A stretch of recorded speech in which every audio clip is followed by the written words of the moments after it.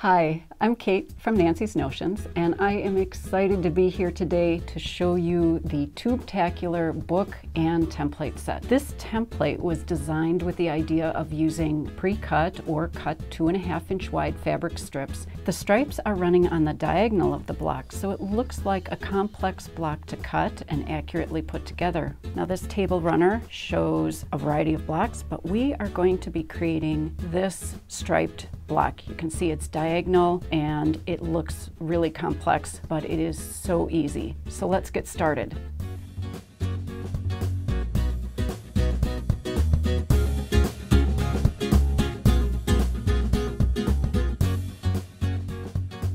The most dramatic results happen with this quilt block if you use a combination of lights and darks. And here we have four different fabrics and we have a combination of a light and dark blue, the light and dark berry or raspberry color. And that will give us a lot of fun options. Since I'm using a slightly smaller rotary cutting mat, I'm going to fold my fabric into quarters or fourths meeting the selvage edges first, which creates a fold.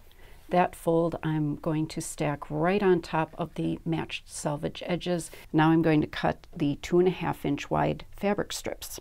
I have one edge clean cut so it's nice and even. Now we're just going to use the markings on the ruler to easily cut those strips. Cut two strips of each of your four fabrics and you'll have enough to create a fun variety of blocks. I have my first set of strips paired together. I have a light and dark.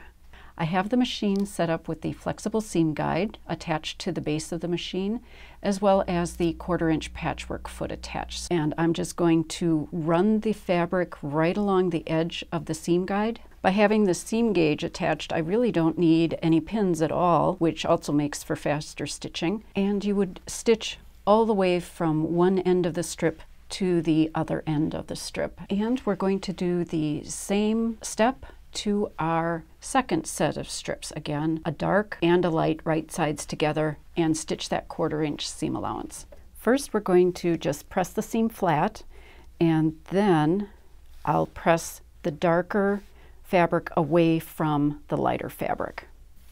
And we'll do the same for the next set of strips. Once you have all your strip sets pressed, we're ready to create our tube for the next step. We have our first pair of strips put together, or at least matched up. I have the one coloration of the dark and the light, and then the second coloration of the dark and the light. And I am just going to put those right sides together, and we will stitch along the outermost edges of those strip sets.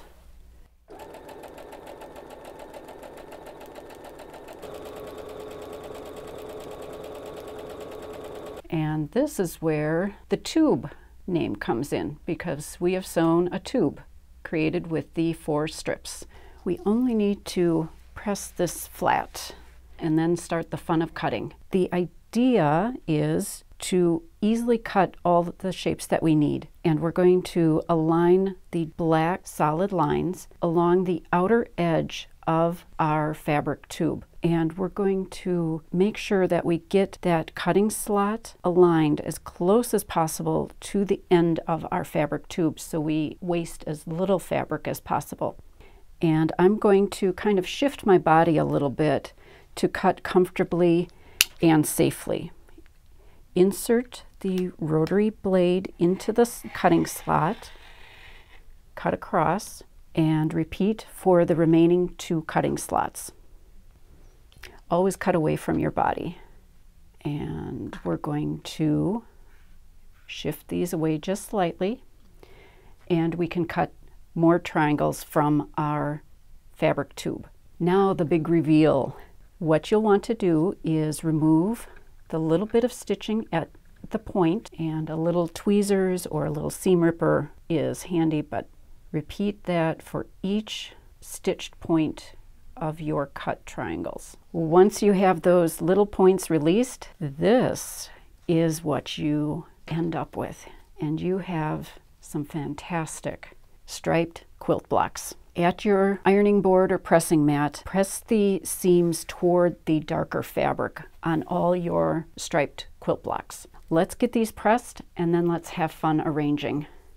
I've got a variety of striped quilt blocks, but I want to show you just how changing the order of one set of strips can give you a complementary block but a little bit of a variation. This stack, when I sewed that tube together, I had light blue to dark purple. In this block set, when I sewed that tube together, I had light blue, which you see right here, to the lighter purple color. So that can add to the fun of designing a bigger quilt block. So let's try it.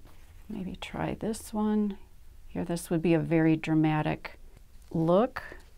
What if we pulled in that those two blocks that were a little different instead of the dark on the middle stripe, the dark is now at the corners.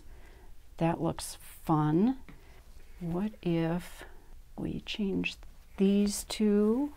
Once you get started, you can't stop designing. It's really fun to play with the colors that you select. Let's take a look at a few finished projects so you can see the fun that you can have with color and placement within that striped block. We have a beautiful blue and here's a green and purple. Again, here's where the block that you create is. And here's a flying geese pattern, but if you take your block, this is what you've created. And one last one, again, another beautiful variation, and that's the block right there. The Tubetacular template allows you to create an infinite number of block combinations through color and strip placement. Use the instructions in the book that comes with the template to create table runners, wall hangings, or quilts.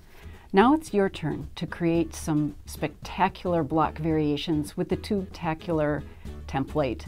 Thanks for joining me.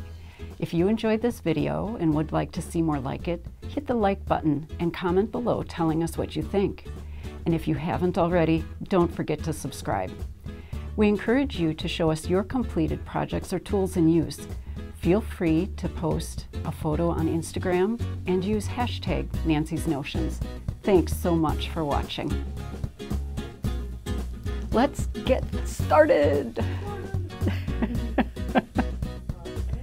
okay. Thank you, Laura.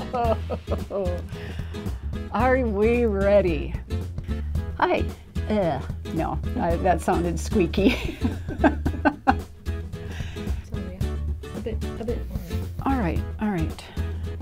Because I'll, I'll just, once I explain, we, we got, um, all right, let's just do it.